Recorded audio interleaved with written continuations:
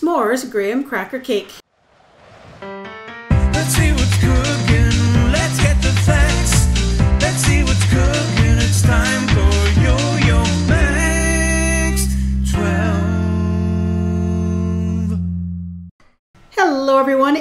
Medium-sized bowl, place one and two-third cups of graham cracker crumbs, a quarter cup of flour, one and a half teaspoons of baking powder, and a quarter teaspoon of salt.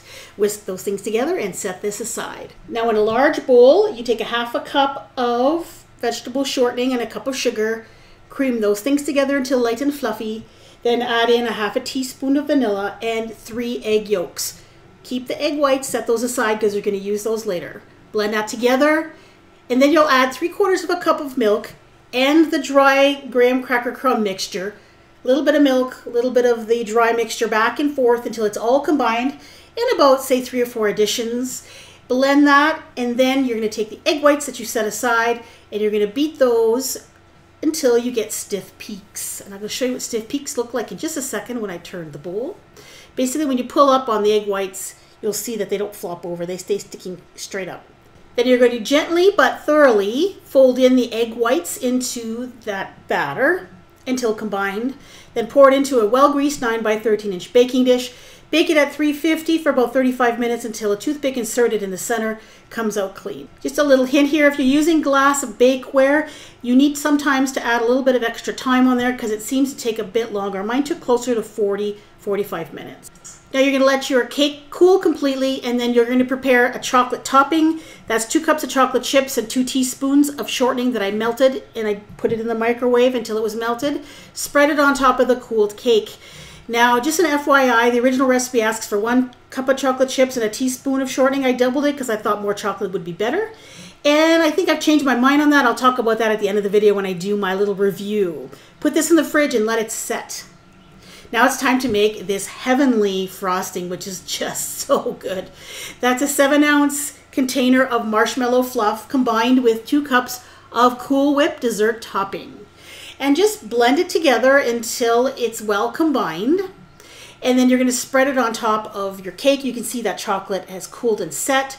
And then spread it around until it is even. Now you don't have to do this part, but it really does a lot of add a lot to this cake take graham crackers, break them in half so you get little kind of rectangles, and then dip the corners in chocolate. So you get like a two diamonds, you know, a one chocolate diamond and one plain. Let those harden on wax paper or silicone mat, and then you can place them on top of the cake as a garnish. And each square is one serving, and it makes it kind of easy to cut. And it looks really, really cute on top of the cake. Now, you know, you can't really use a fork to cut through the graham cracker and the chocolate, so you probably have to pick the cracker off before you eat the cake, but still, I think it still looks awesome, and I probably would do this again if I were to make this cake again. Here's the finished cake. Like I said, it, it's easy to cut because of the portions are already portioned out. As you can see, it slices beautifully.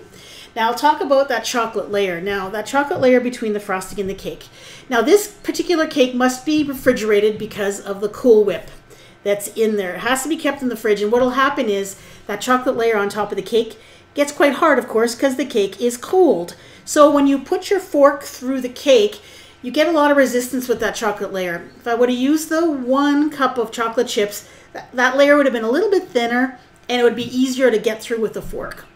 Now, this particular cake, you keep it refrigerated, covered in the fridge, and it's still really good a couple days later if you don't finish it all in one sitting.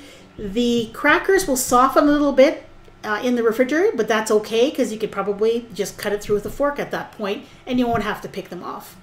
This is a winner. The graham cracker cake is not overly sweet Goes super well with that chocolate. And that frosting is to die for. It is so good. I may use it on other kinds of cake. And of course, who doesn't love graham wafer crackers and chocolate? So it doesn't taste like s'mores really because, you know, it's not hot. But it is really good and my family enjoyed it. Now, if you like this kind of dessert, I have other s'mores related recipes on my channel and I put them on a playlist. I think there's like five or six at this point in time. So if you want to see it, please go check it out. Thanks for watching.